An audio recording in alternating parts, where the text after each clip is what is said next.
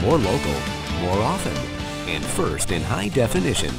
From Michigan's only 24 7 local news channel. This is My News 26 Evening News. Good Sunday evening, and thanks for making My News 26 your choice for local news this weekend. I'm Eric Watilla, and right off the top this half hour, we're following a story that's new this weekend out of Cheboygan County. The Cheboygan Department of Public Safety is looking for your help in identifying the suspect in an armed robbery that took place at the Next Door Food Marathon Station at 309 East State Street.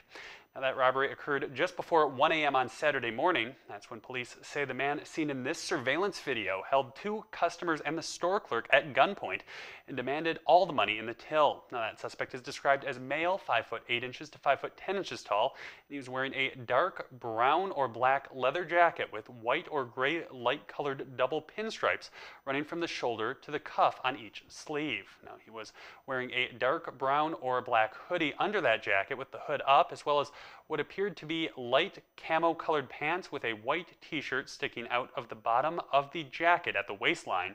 the suspect's face and hands appeared to be painted with black and brown camouflage paint, and police say witnesses couldn't determine if the suspect was Caucasian or African American. The suspect was holding a weapon that was described as a black semi-automatic pistol. He left the store via the south door and was last seen walking east along State Street toward D Street.